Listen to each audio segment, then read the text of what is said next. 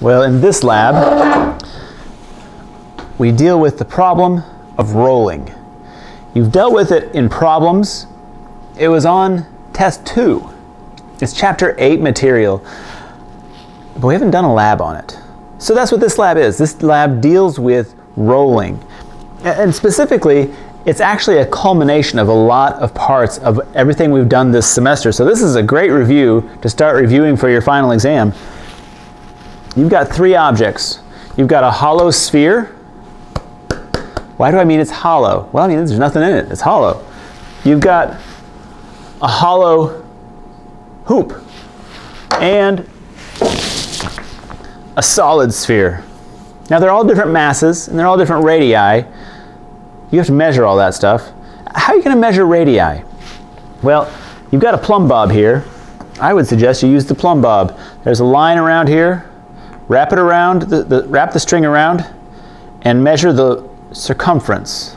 Use the, find the line on there, find the circumference around, measure it with your tape measure. You get a nice tape measure right here. Measure the circumference and then calculate the radius from there.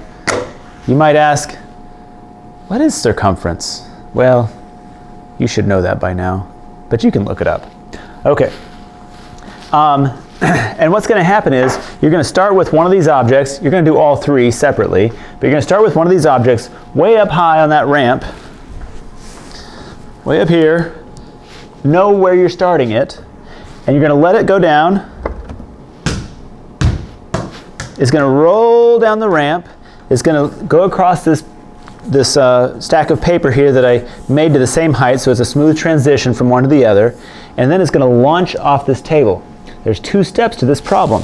One is the roll down, two is the projectile motion. So you've got to do both those problems.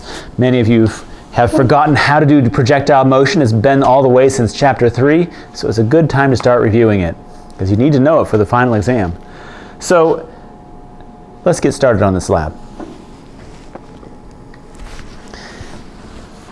After you fill your names into the table, into the, and the name part, you have to fill out this table up here. It asks for two things, mass and radius that you have to measure. So you'll get the mass from your scale. You'll measure the radius, like I showed you a minute ago, wrap the string around. Make sure you get it all the way around the circumference. Don't get around just part of it. Get the whole way around. Lay out your tape measure on the table. Lock it down.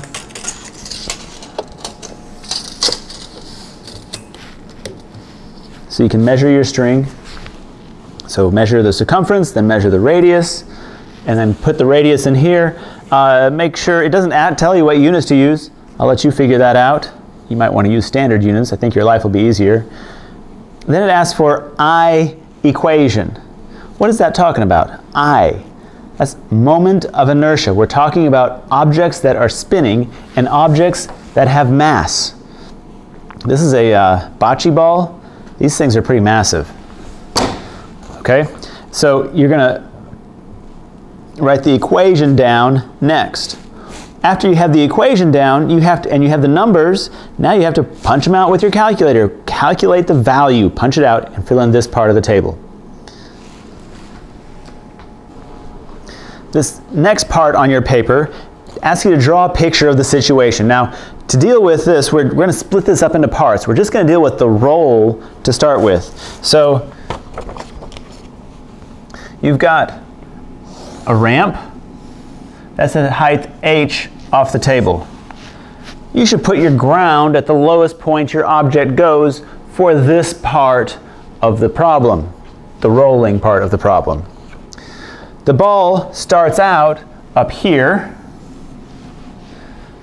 You'll have to measure height. You've got a tape measure. Measure it. You'll have to measure the height. and then the ball is going to roll down here. When it gets down here, two things are going to be happening. It's going to be moving and it's going to be rolling. You have to deal with both of those. So it says draw a picture of the ramp and label the energy at the initial value, uh, sorry, at the initial and final locations. Here's the initial location. What kind of energy is there?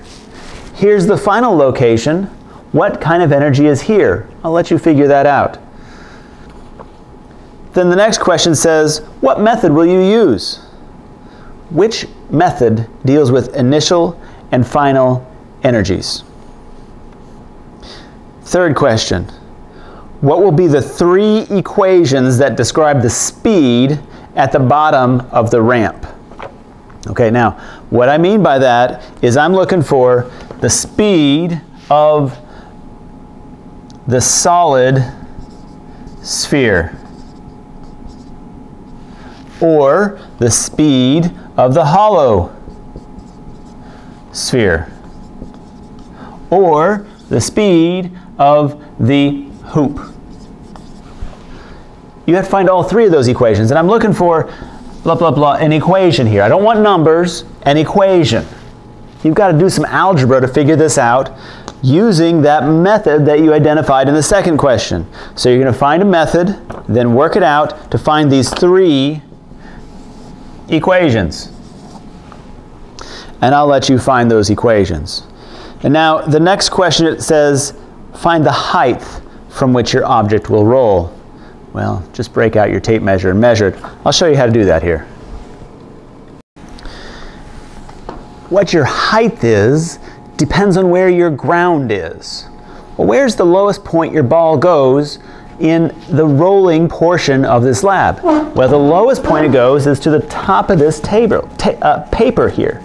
And so what you want is the height from the top of the paper to the top of the board. How are you going to do that? Well, you have to do it in two steps. Start by measuring the height of the board. Measure it from the tabletop to the top of the board right there.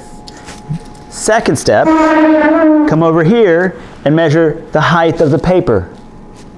Once you have both of those measurements, find the difference between them, and that will be the height that the ball rolls down from. The height in the initial position.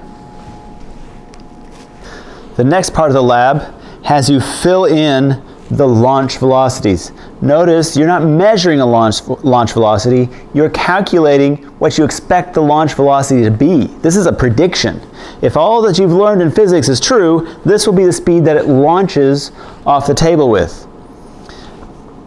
Now, once you've calculated that, the three values, turn over the page, and now it says, draw a picture of the launch problem. Well, this is the next, this is step two in this problem. So now you've got a table that drops off and you've got a ball moving that way. Which way? That way. Is it slightly up?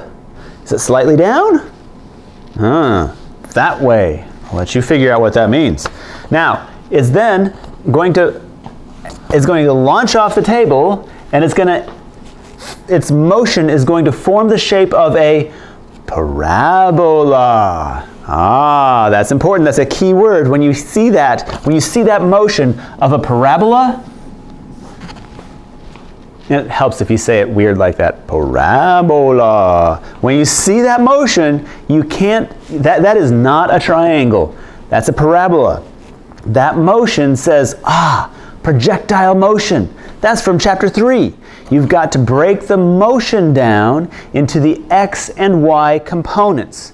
The motion has to be broken down into the x equations and the y equations. Check back in your notes. There's only one equation you can use here. And there's three equations that you can use here, but one is the one we, we really use all the time. Modify them for x and y. We've done this about a hundred times. I'll let you step through that. Look back in your notes. We've covered it in class multiple times. it was also on test one. And we covered it in there too, so you can probably find a lecture on it. Uh, I know we covered it when we went over the uh, uh, you can find a lecture on it. We've done it in our class multiple times. So you can look back at chapter 3 lectures or you can look back at the test 1 go over. All this is on the web. okay, so the next step here is solve this 2D projectile motion problem for the three landing positions of the three objects. Here's what I'm looking for. X for the solid sphere is equal to some equation. You've got to calculate that. Using this information over here, using what you know about this problem, how far does it fall? It falls h from the top of your paper to the floor. h, capital H this time. It was lowercase h last time. That's your height that you have to work with. Let me just point this out. Which way is it going? In the y direction? Down. That's important when you're figuring this out. It goes down. You're going to come up with three equations. x for a solid sphere. So, so that's this. x from here to here. Where is it going to land? How far from the edge of the table is it going to land? That's what you have to calculate. And now you got to do x for a hollow, uh, for a, for a what's, what's the other one? Solid sphere? Yeah, hollow sphere. And x for a hoop. And I think when you work this out, you'll probably, if you use the equation on the equation sheet, this is actually delta x. And that's okay. If you consider the initial position 0, you can call it x or delta x. Next piece is to measure the height. From the top of the paper to the floor, use your tape measure, measure it to the maximum, maximize the precision of your tool. You are obliged to do so. So measure the height, and then you've got the equations, plug it in, find delta x. That's where you can't do this without me.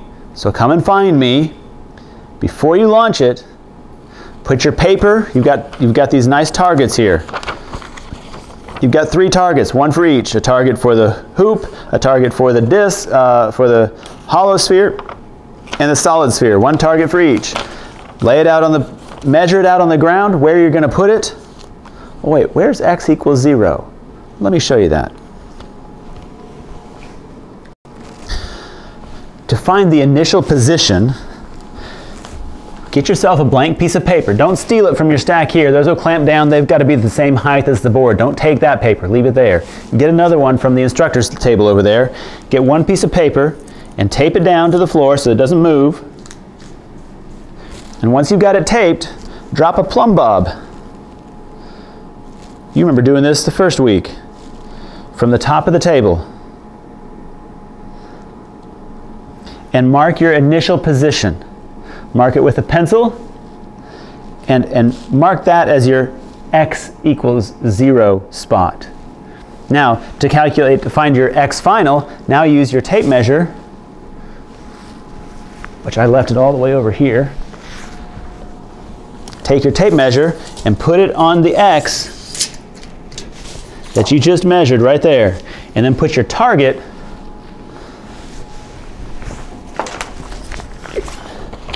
right under the spot where you've calculated that it's going to land. So the center of the target goes at the spot where you predict it's going to land. Your prediction is a calculation that you've already made. I got you started barely on the board. You need to figure out the rest of it. There you go. That's the lab. Do it for the solid sphere, the hollow sphere, and the hoop. Three targets, 30 points. Unless you miss. Okay. That's your lab. I hope this helps, and I'll see you on Tuesday.